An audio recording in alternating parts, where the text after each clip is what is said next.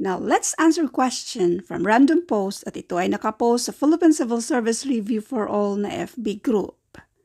Anong meron dito? Masusolve lang natin ito by following the order of operation or kilalang PEMDAS. Ang tanong kung paano ba ito i-follow itong PEMDAS na ito, ang order of operations. Now, bago natin basahin yung mga references natin at marami tayong mga references, sagutan muna natin. And by the way, yung post na ito, lahat ng sumagot or halos lahat tama yung mga sagot nila. They were able to follow the order of operations. Hindi gaya dati nung taong 2017-18 yung kasagsagan na halos more than half yung ang akala nila sa PEMDAS ay talagang ganun lang talaga ang pag-follow nila. So now marami na mostly alam na nila na ito ay kung alin ang nauna from left to right, ganun din sa addition and subtraction. Now, itong nandito, meron tayong addition, division, meron din tayong multiplication at sa nasa loob ng parenthesis, at mayroon tayong exponent. So more than one ang operations na nandito. Kaya kailangan nating i-follow yung order of operations. Unang-una, yung nasa loob ng parenthesis. So yung nasa loob ng parenthesis, 5 minus 3 and this is 2. 6 minus 3 and this is 3. Next ay yung exponent. Itong 3 ay merong exponent na 2. So, this means 3 times 3 equals 9. So, yan ay 9. So, the rest, kopyahin muna natin. Plus 2 times itong 6 divided by 30. Tapos ito ay 60 plus. Next, sa order of operation, step number three, multiplication or division, whichever comes first. Kung nauna si division, siya ang unahin natin bago yung multiplication. We work from left to right.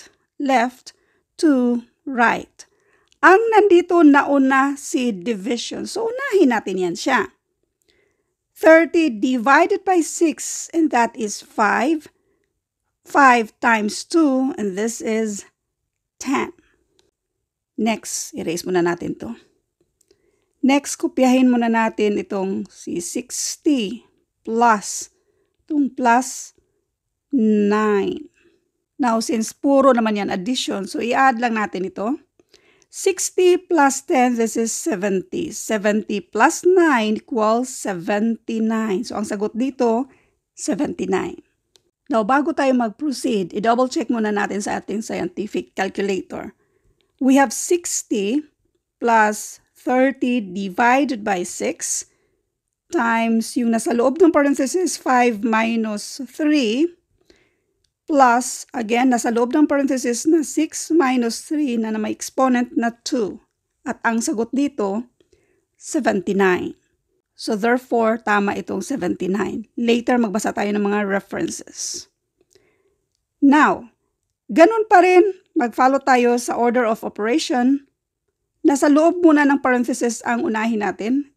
20 minus 18 and this is 2. Kopyahin muna natin yung ibang mga operations na nandito.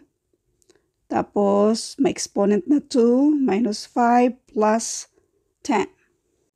Ang next ay yung exponent. So 2 times 2, 2 squared, this is equal to 4.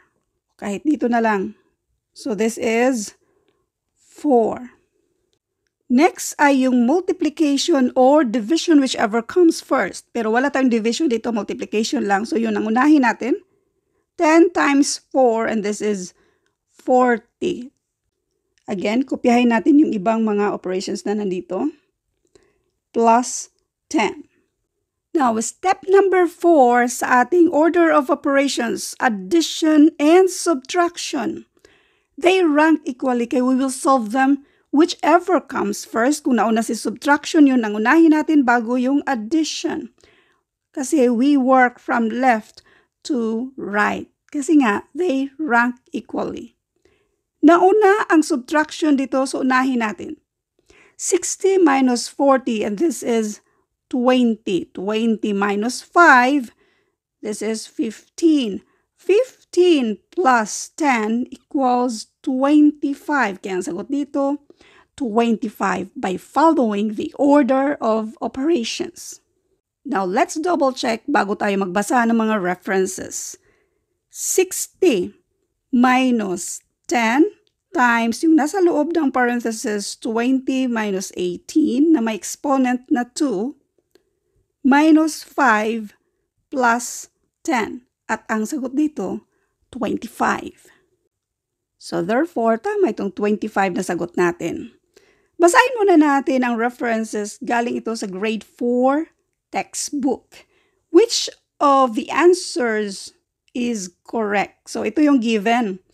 84, galing to sa grade 4 ha. 25 plus 13 minus 7. We work from left to right. So obviously, letter A ang tamang sagot dito. Basahin natin to. To make sure we will all arrive at the same answer, the, the order of operations was agreed upon. Since there is only addition and subtraction in the number sentence, we work from left to right. Kasi naman ma'am, ang nandyan ay addition and subtraction lang. Now remember itong from left to right. Dito muna tayo sa isa pa.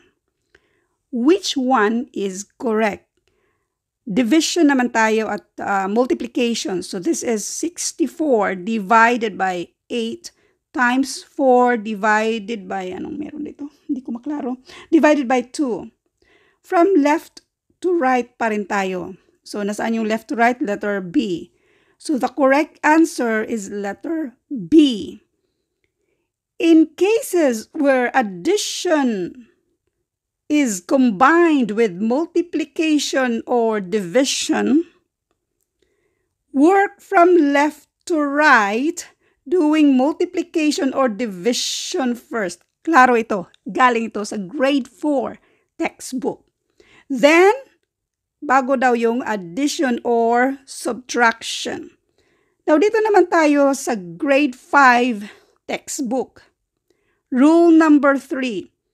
Multiplication or I multiply and divide in the order they appear from left to right. At ganun din yung addition at subtraction in the order they appear from left to right. Now, grade 6 textbook. Step number 3. Multiply or divide from left to right, addition, addition or add or subtract from left to right. Dito tayo sa study.com. Even though M for multiplication in PEMDAS comes before D for division, these two operations actually have the same priority. Complete only these two operations in the order they occur from left to right. Step number four, ganun din. Left to right. Isa pa, ganun pa rin to. So, reviewercivilserviceexam.com Left to right pa rin, pwede nyong i-post kayo na magbasa dyan. Ito, mas klaro to. Order of operations, parenthesis, exponent, and then yung multiplication or division left to right. Kung alin ang mauna dyan. Step number 4, yung addition and subtraction kung alin ang mauna dyan. Thank you for watching and all I hope mayroon kayong naintindihan sa videong ito. Thank you and God bless.